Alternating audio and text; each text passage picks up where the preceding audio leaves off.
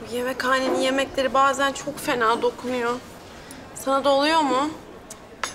Ucuz yağ kullanıyorlar ondandır. Bir dahaki sefere sen daha hafif yemekler tercih et ama. Bir dahakine sosyete kafesinden kinoalı avokado salatasıyla kereviz suyu sipariş edeyim bence. Seninki geliyor. Selam. Ne haber kızlar? Sağ ol, iyi. İyilik senden. İyi. Aç mısın? Yani aç değilim ama biraz atıştırırım sizinle. Gerçi buranın yemeklerini beğenir misin bilmem ama. Niye beğenmeyecekmişim ya? Beğenirim tabii. Ee, şey... Akşam okul çıkışında bir sürprizim var sana ve itiraz kabul etmiyorum.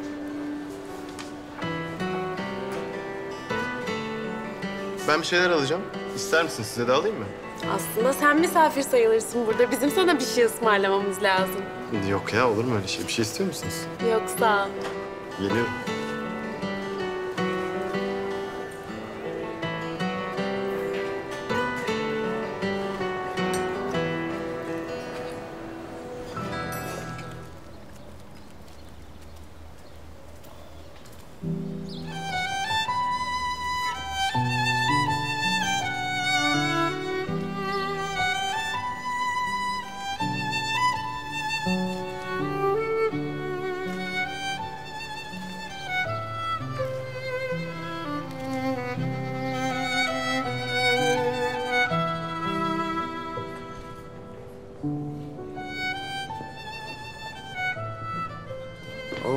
Kimleri görüyorum.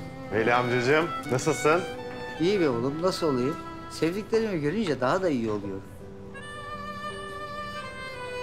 Hoş geldin kızım. Hoş bulduk. Aferin senin. Bu güzelliğin elini tutup bırakmamışsın bakıyorum. Evet Veli amca. Bırakmadım.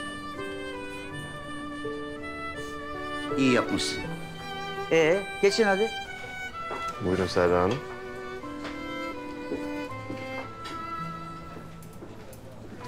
Bayıldım ben bu sürprize. Çok sevindim.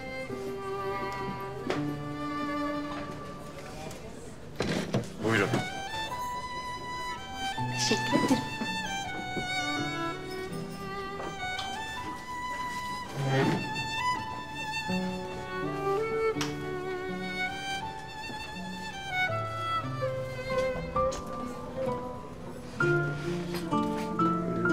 Teşekkürler Veli amca. Çok yedim ama yeter.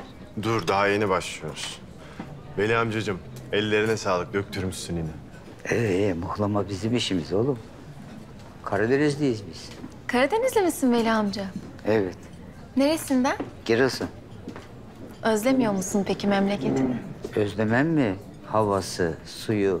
En çok da insanı başkadır bizim oraların. İnsanın nesi başka? Büyük şehir bozuyor hepimizi be kızım. Kul olduğumuzu unutuyoruz. Şeytana uyup paraya pula satıyoruz ruhumuzu.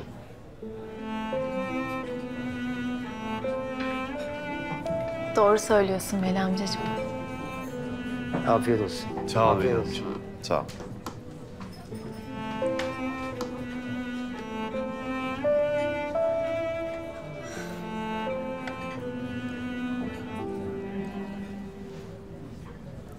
İçimiz küfleniyor buralarda. Ne kadar doğru söylüyor değil mi? Bence değil. Eğer insanın içinde kötü olmak varsa... ...bir şekilde ekstra çaba göstermeden şeytana dönüyorsun zaten. Yani... ...sen ruhunu satanlar sadece büyük şehirlerde mi yaşıyor sanıyorsun Serra?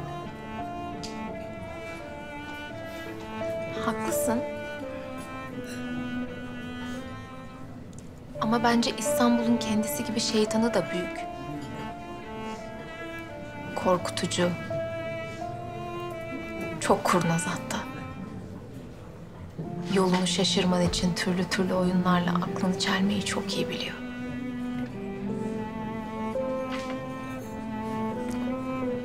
Yoksa sana da mı uğradı o şeytanlar? Kim bilir?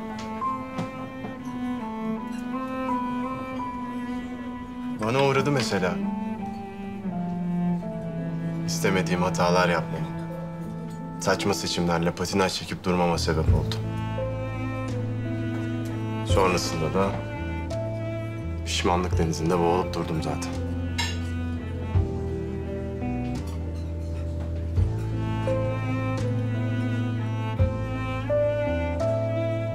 Senin en büyük pişmanlığın ne?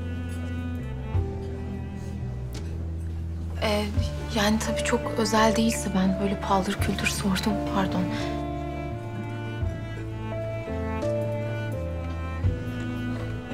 Ben 18 yaşındayken babama kızgınlığımdan Asena'nın arabasını kaçırmam. Ne tür bir pişmanlık bu anlamadım.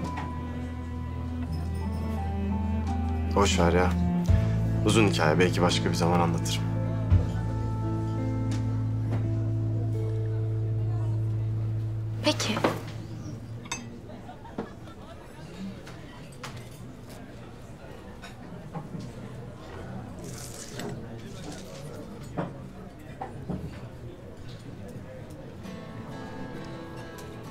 Doymamış mıydın sen? Ama çok güzel olmuş.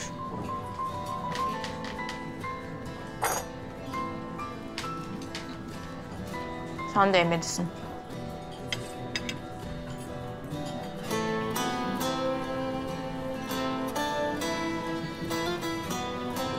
Ya bana öyle bakmasana. Neden?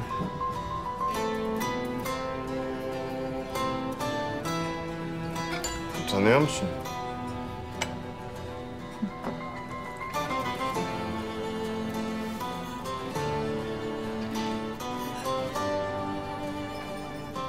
Sen benim bakışımdan mı utanıyorsun?